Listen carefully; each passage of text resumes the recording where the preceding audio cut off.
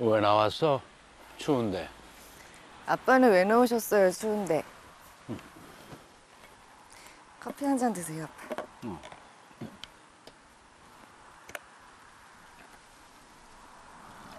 혼자 사시는데 적적하지 않으세요?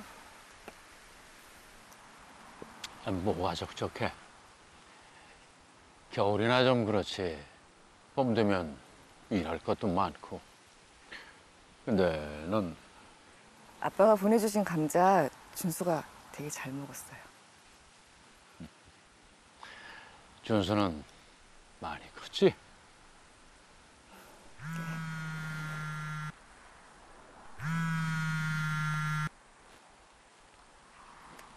아, 어, 도서방. 아, 예, 안녕하세요, 어머님. 연락도 자주 못 드리고. 잘 지내시죠? 나야 뭐 똑같지. 건강은 괜찮으시죠? 괜찮으신 날 없으시고요?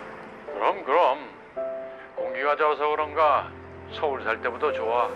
아, 예. 다행이네요. 요새도 바쁘지? 아, 예.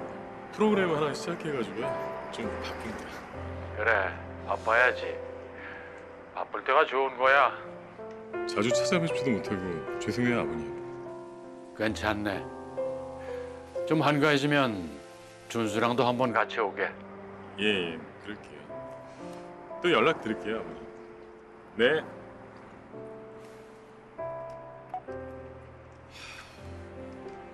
아, 대체 어디 간 거야, 정세현. 아, 씨. 다채로운 즐거움 JTBC